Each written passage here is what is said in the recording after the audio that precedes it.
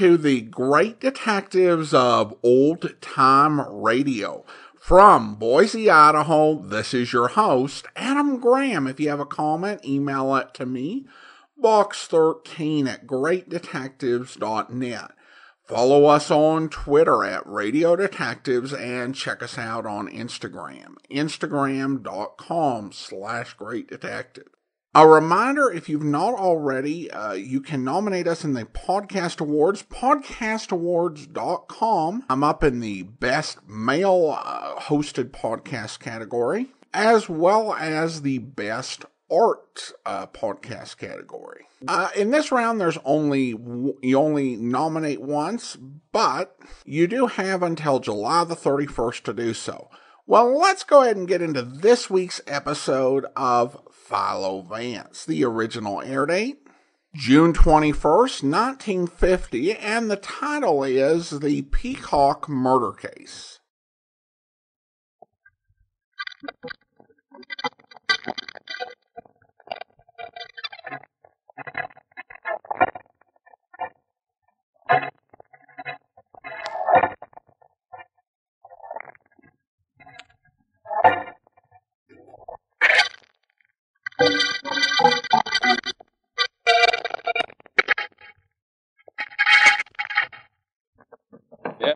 Come in. Hello. Well- Are you Philo? Yes, I am. Rather exhausted, Vance. Vance. You see, I've been working on my office all night. Oh, really? Where's your secretary? Neither of my secretaries is in yet. They have a more lenient employer than I. You're easier on them than you are on yourself. Is that what you mean? Hmm, something like that. Now, what can I do for you? I don't know yet. I'm just looking around. Oh, shopping. Mm-hmm. For bonds. Got any? Right at the moment, I don't have anything except a definite desire to to sleep. Perhaps at some other time, this vague type of conversation might be very interesting, but not now, though. Will you forgive me? For that? Yes. Vance, you're a private investigator, aren't you? Well, that's the generally accepted impression. Why? Well, right now you're working for a man named David Peacock. He's hired you to protect him and a strong box he keeps in his safe. Get him on the phone now and tell him you've resigned from the case. So early in the morning? I never disturb my clients at this hour. Sorry. I wouldn't call him even if I knew David Peacock or what you were talking about. Nice try, Vance, but it won't work. I have a friend outside I want you to meet. Please don't move. Hmm, Interesting morning. An attractive young lady, a gun, and a friend. This isn't anything you can talk your way out of, Vance. Hold everything. Junior, Yeah, come on in here. yeah, I'm coming. Well, here I am, hey? That's Philo Vance, Jr. oh, that's Vance, huh? Nice looking fella, hey? Huh? Hey? A curious fellow at the moment. This is a rather unusual visit, I might say. Oh, you don't know how unusual. Uh, Vance, this David Peacock you're working for. Are you going to resign as I asked you to? I don't think so. Make up his mind for him, Junior.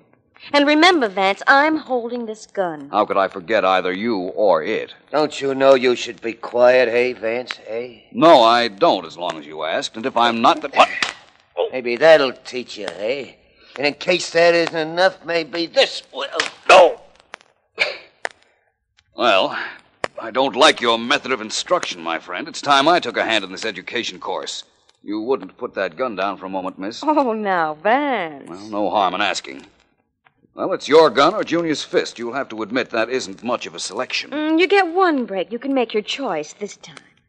But if you don't quit working for David Peacock, remember, this is just a sample. My dear young lady, whoever you are doesn't matter, but this does. I told you before I don't even know David Peacock.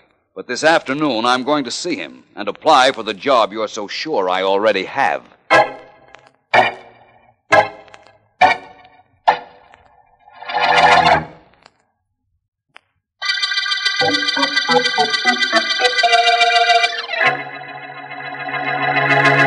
Strange thing you're coming to see me this afternoon, Mr. Vance. Very strange. Why, Mr. Peacock? What's strange about it? Only yesterday I was considering engaging your services to protect me. I already have a bodyguard, a private detective named Moran, Jimmy Moran. Do you know him? No, can't say that I do. He can't be a licensed operator, or I'd have heard of him. He's not from the city, and he's very rough and not very smart. That's why I thought I might call you. I see. Perhaps you'd be good enough to tell me why you think you need protection, Mr. Peacock, and why you don't call in the police. Why do I think I need protection? Yes. I'll tell you why, Vance. In this house, there's a strong box in my safe. The safe has an unusual combination, and I've been assured that it's burglar proof. I'm the only one that knows the combination. I'm listening. The safe is in a room for which I alone have the key. Yes, and I've been informed also that the room is burglar proof. Uh, that's quite necessary, you see, because my entire fortune is in that safe. And you wanted to hire me to protect you and it, right? Well, I was considering it, as I told you. I haven't quite made up my mind. Though how you happened to come down to see me this afternoon is more than I can understand. I could explain that, but I'd rather not. Mr. Peacock, who gets all your money when you pass on? Well, my niece, a very charming, well bred young lady. Wait till you meet her, Mr. Vance. You'll like her. Does she live here with you? No, but she visits me every day. Wonderful girl, wonderful. Completely self reliant. And she can protect herself, too. Carries her own gun and knows how to use it. or to. She practices enough on the range out and back. A social young lady who carries a gun. Hmm, She does sound like someone I want to meet. You probably will someday. Vance, I, I'm sorry you had this visit for nothing. For the time being, I think I'll stick with my present bodyguard. Just as you say. Although I did have a personal reason for coming here. Oh? Uncle David? Uncle David, where are you? Well, that's my niece now. In the library, Polly. Come in here. I'm on the way. Well, it looks as though I will get to meet your niece, doesn't it, Mr. Peacock? It most certainly does, and you'll find her charming, believe me. Uncle David, I... Oh. Well, that's all right, Polly. Come in. Polly, I'd like to present the very distinguished private investigator, Philo Vance. Introductions aren't necessary, Mr. Peacock. I've met your niece in my office early this morning.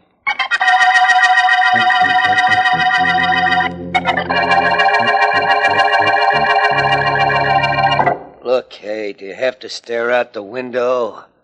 Can't you stare at something in this room, eh, just for a change? Shut up, Junior. I'm thinking. Well, that's why you're nervous.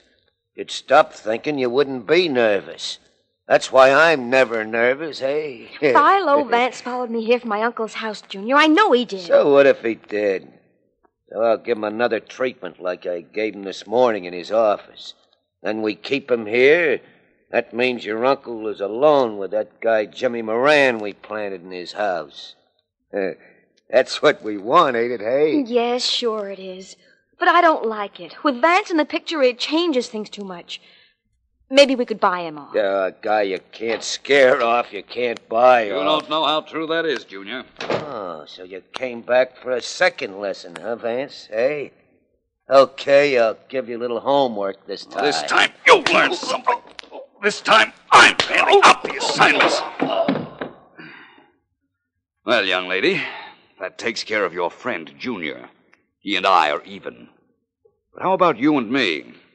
Feel like talking now? Mm, Not especially. There's one thing you ought not mind telling me. What is it? I know you always carry a gun. How is it you didn't use it just now when I was evening up matters with Junior? You are on his side, aren't you? I'm not on anybody's side, Vance. All I want is to be on the winning side. Remember that. It might explain a lot to you later on.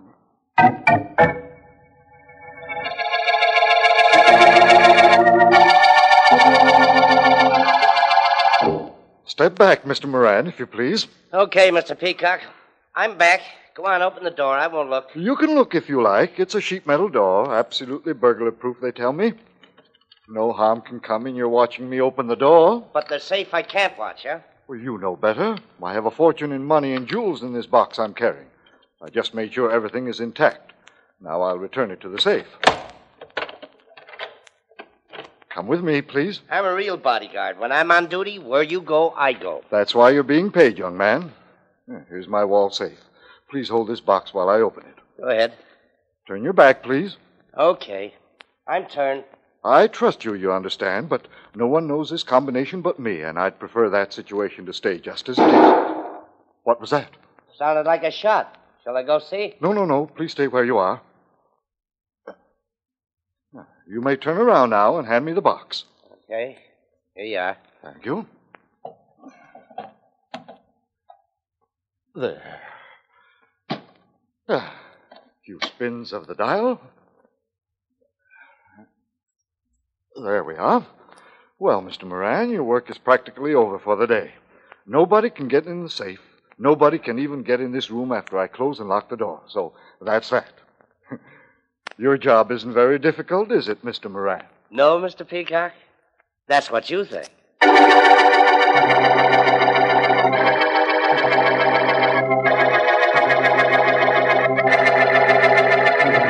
Well, Vance, is there anything else you'd like? I don't think so, Miss Deering, unless you can induce Mr. Markham to invite me in on an interesting murder case this morning. You know, I applied for a job yesterday afternoon, but was turned down by Mr. Peacock. All I know is he showed bad judgment. now you want me to use my influence with the district attorney and get him to invite you in on a murder. Mm-hmm. Why don't you commit one, Vance? What? I guarantee you do it so cleverly that even you couldn't solve it. hmm, Vance against Vance. Sounds interesting. Whom would you bet on? Vance, Ellen, dear, you're wonderful. take the laugh out of your voice, and those words would sound wonderful. Vance, I found the cutest restaurant. Could we have dinner there tonight? if you like. I'm wearing my agreeable disposition this morning. I'll get it, Ellen. Which phone is it? 1561. Got it. Hello. Vance Markham. Well, my favorite district attorney. Ellen and I were just talking about you. No matter what you said, it isn't true. Well, we were saying some nice things. Oh. In that case, I reserve the right to change my testimony. Motion granted. Uh, what's up, Markham? A murder? None that I know of. Oh. Sorry to disappoint you, my friend. This is strictly a social call. I'm Hello? surprised, but not Who's calling, disappointed. Vance, Well, it's excuse nice me, of you there's to Mr. say that, Peacock but on I- the. In a minute, Ellen. Oh, Markham, uh, let me call you back, will you please? I have another call. By all means. Bye, Vance. Goodbye. On 1562, Vance. Right.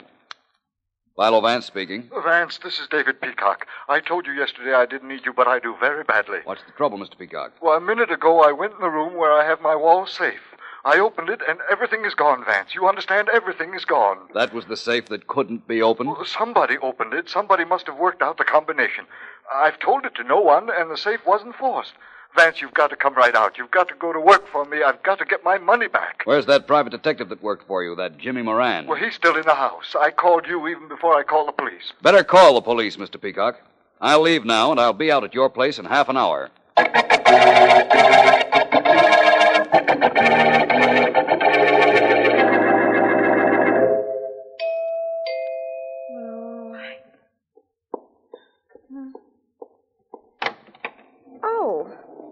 It's you then. Good afternoon. Nice to see you without your friend Junior around. Is your uncle in his study? He's expecting me. I suppose that's where he is. You don't learn very easily, do you, Vance? I'm a very apt student when I'm learning the right things. You needn't bother to come with me. I know the way. I was here yesterday. Mm, I remember. Very well. Thank you. You know, of course, that your uncle's safe has been robbed.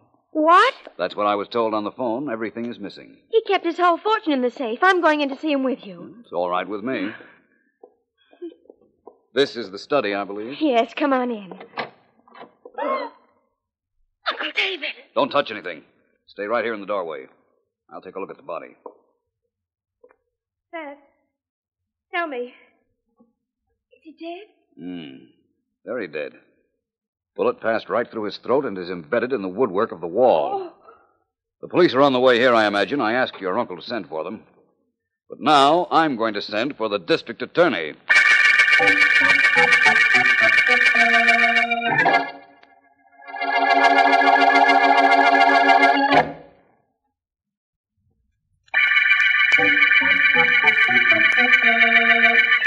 This is District Attorney Markham. The Peacock murder case opened when Philo Vance found the body of David Peacock. Immediately after Peacock had reported his burglar proof safe had been opened and the strong box inside rifled.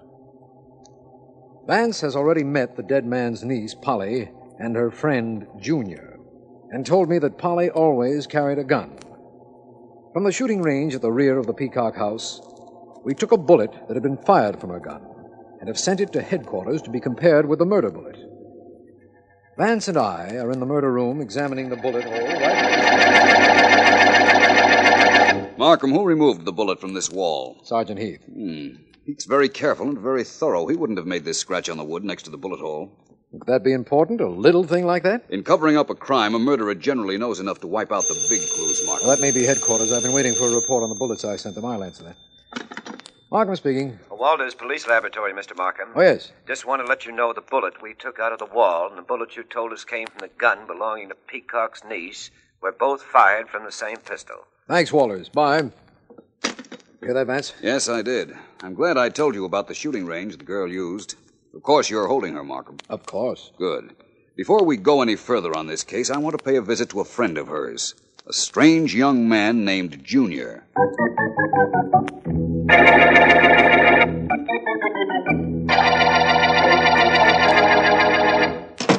Oh, it's you, eh? Moran the private dick. What do you want here? Sit down, Junior, sit down. I got an idea you and I are being setups for a gal. Both of us being played for patsies. Peacock was murdered, you know that. Yeah, yeah, I heard. The stuff was missing out of his safe. Did you take it? No. No, and I didn't knock him off either. Neither did I. I got an idea your friend Polly cut this cute caper herself. What? And she rubbed him out and is going to make it look like I killed him. Or you did. You get that? Maybe you did kill the old guy, eh? How stupid can you get? The finger would be on me right away, wouldn't it? Well, Who was in the house? Well, how- Me. Who's got a record if they go back far enough? Well, I- Me. Look, Junior, I was working for that dame, and so were you. So we're all in this together. Only I'm not going to be tagged with a bum murder rap. You get that? uh, don't bother me. I'm thinking, hey? That ain't good. It, it makes me nervous. It makes me so nervous. You know what I'm gonna do, hey? Even if you had a mind, I couldn't read it. What are you going to do? I'm gonna give you one minute to scram out of this joint of mine. And if you ain't out in here by then, I'm gonna toss you out on your ear. And the way I feel about you, I hope you make me do it. Do you hear, hey?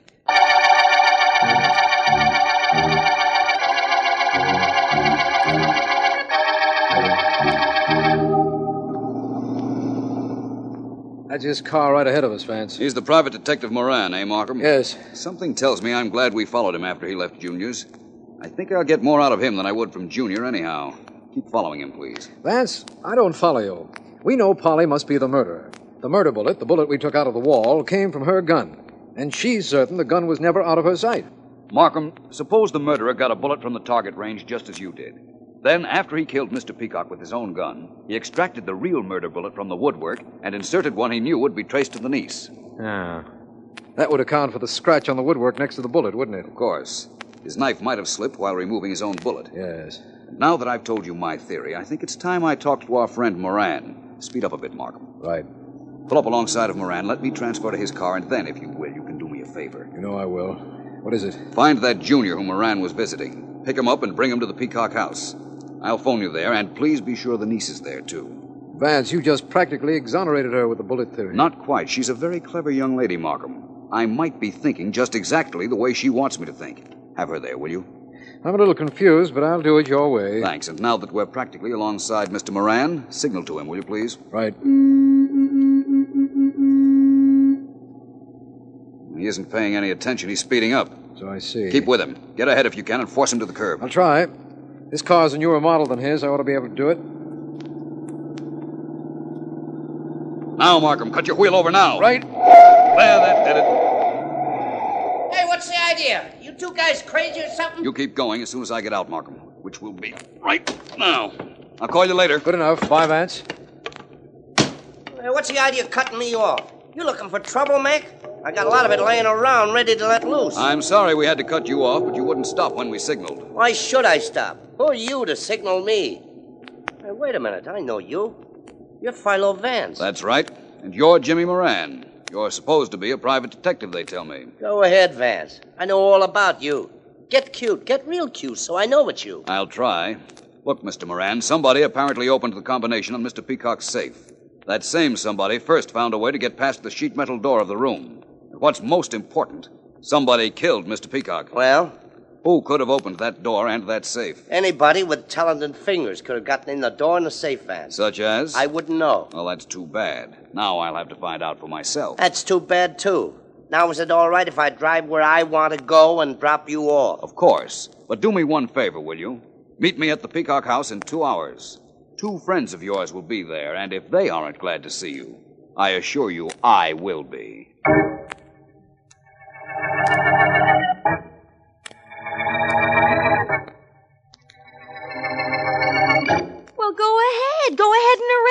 The district attorney. Yes. You know my gun killed my uncle. You know I'm supposed to inherit from him, so arrest me. Go on. But see if you can prove why or how I'd open a steel door and a safe and grab everything in that safe, especially when the stuff would be mine anyhow. You have a point there, and it's one of the reasons you're not being arrested. Yet. You might be interested in knowing that we've picked up a man known as Junior. Well, what about. And in another room in this house, we're holding a private detective named Jimmy Moran. Well, what's next? Well, right now, we're waiting for Philo Vance. He wanted all three of you here when he arrived. Which is Yep. right now. Good evening. What's good about it? Hello, Vance. That remains to be seen. Where's Mr. Moran being held, Markham? In the den, the room where the safe is located. The door unlocked? It is now. The key's in the door, though. I had the police expert who opened it leave it there. Good. Well, Markham, I have one phone call to make, and then I can promise you a break in this case. I think I can tell you who killed Peacock as soon as I find out how a safe that couldn't be opened was opened.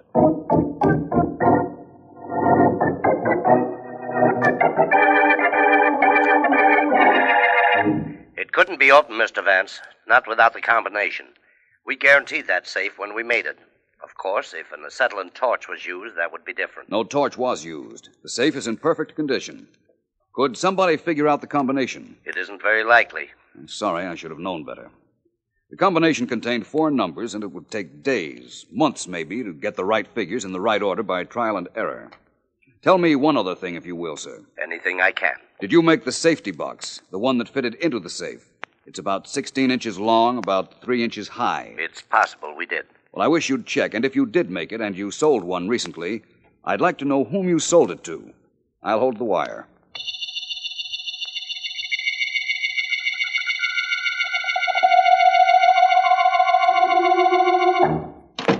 Moran. Okay, Vance, I'm here like you asked. Now give me the sales talk and keep it clean. What's this all about? I need help. I just made a phone call, and I know who killed Mr. Peacock and who robbed the safe in this room. You've got to help me prove it. I do, huh? Well, right now, all I hear is words. I need the music to go with them. Moran, listen. Knowing who the murderer is puts my life in danger. If I don't have a chance to prove my case, I want you to remember this. Hey, what was that? Sounded like somebody locked the door. Yeah? Well, I'll soon find out. We're locked in here, Vance. Hey, what's going on? Hey, open this door. Open it up. I'm afraid nobody can hear us except the person who locked the door, and I'm quite certain that individual has no intention of opening it. Okay, but what's the gimmick? Why lock us in? Vance, it's gas. Yes. Somebody's feeding it through the keyhole. That's your answer, Moran. Here, stuff this paper in the keyhole, Yeah. quickly. We're trapped if we don't keep that gas out. Give me the paper.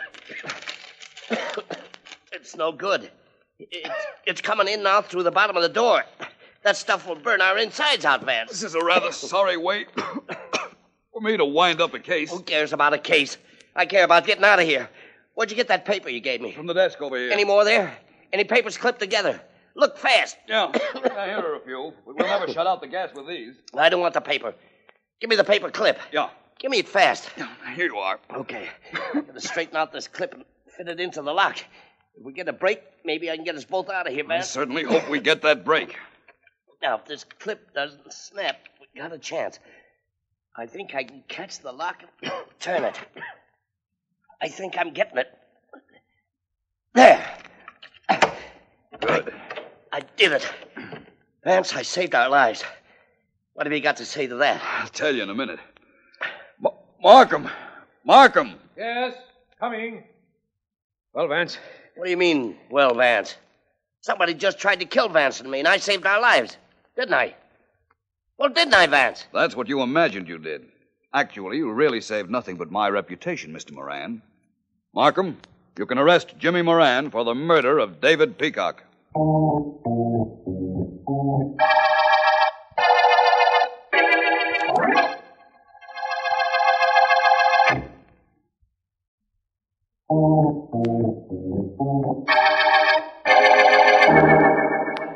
Hello, Vance. Sorry I kept you waiting. How late am I? Not very, Ellen. It's only a few minutes past eight o'clock. Sorry. I had a lot of trouble with this hat. Just couldn't get it to sit right. Oh, well, its posture is perfect now. Good. now let's sit down and we'll order. All right. And you can tell me all about the Peacock murder case. Well, I told you over the phone that Jimmy Moran, the self appointed private detective, was the murderer. He's confessed, and we've recovered the money. You never told me how you knew it was Moran. Well, let's start from the beginning. Peacock phoned me to say his safe had been robbed, Yes. but that he hadn't given the combination to anyone. And you knew that nobody could open the safe without the combination. Nobody did. Peacock opened the safe himself earlier today. Moran was carrying the deposit box. Peacock made him turn around so he wouldn't see the combination. Then, while his back was to Peacock, Moran slipped the real deposit box into his trouser leg and handed Peacock a duplicate he had ordered.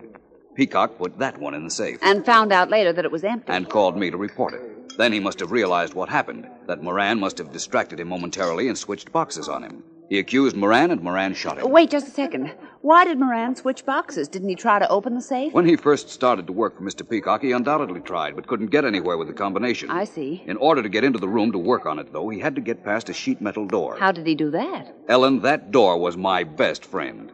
When I got Moran to open it when he thought we were in danger from the gas which Markham planted, he showed me he could open the door without a key. Tell me just one more thing and then we'll eat. Why did Polly and her friend Junior try to keep you off the case in the very beginning? They had the whole deal set up with Moran as an accomplice. Murder wasn't included, however. It's true that Polly would inherit when her uncle died, but she didn't want to wait that long. So she hired Moran, an expert around safes, to steal the money. But he double crossed her. And then when Moran killed Peacock, he planted the bullet from her gun in the woodwork after removing his own bullet. That's right. But I figured that out at the beginning. Okay, so let's stop worrying about the beginning and start to eat. After all, this is the end of the Peacock murder case.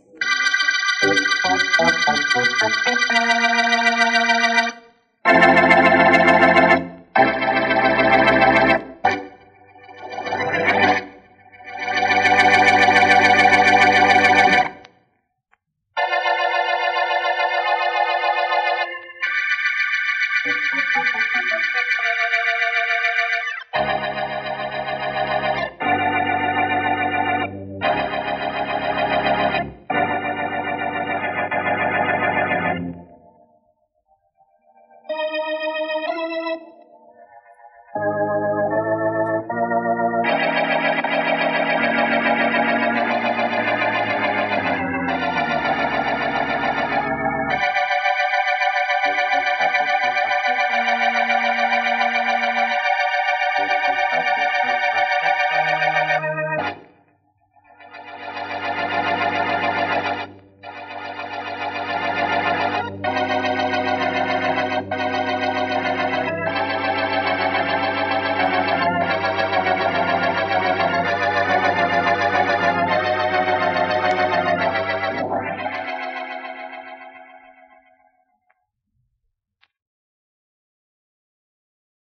Welcome back. The opening scene to this uh, episode was interesting to me because you had Philo Vance being offered money not to take a case and then being beat up for uh, failing to comply, which seemed a bit hard boiled. In fact, I have heard and read and seen this sort of scenario. Now, Philo Vance doesn't typically fall into the hit on the head school of detection.